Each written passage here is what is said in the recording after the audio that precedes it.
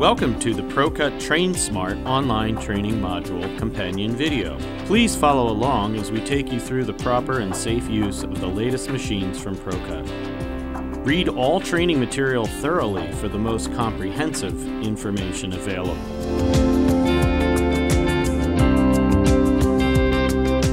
Using the ProCut lathe, you should be focused on two primary goals.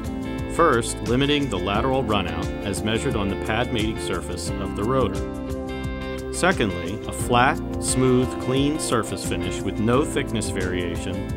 Why are these goals critical? Lateral runout greater than specification is the primary cause of thickness variation that leads to brake pedal pulsation. Also, a rough surface finish will cause brake noise and a potential customer complaint.